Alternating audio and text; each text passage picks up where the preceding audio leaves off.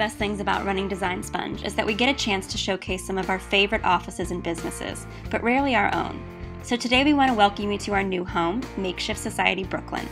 Opened last month by Rena Tom and Bryan Boyer, Makeshift is a co working space where creative people work together, share resources, take classes, and collaborate.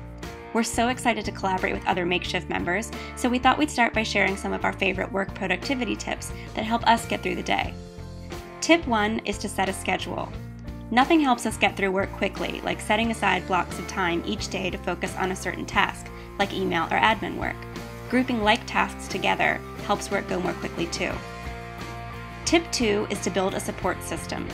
Whether you're in a co working space like we are or create a morning meetup group with other people in your town, having someone you can talk to to run ideas by, get advice from, and brainstorm with is crucial.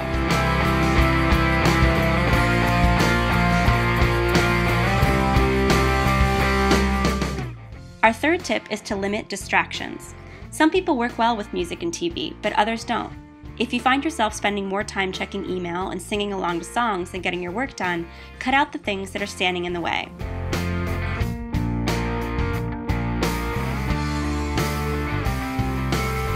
Everyone has their own tips for staying on top of work, so we'd love to hear yours. Share your tips below, and we're one step closer to creating an online community that, like Makeshift, supports each other and helps us all find ways to work smarter and do what we love.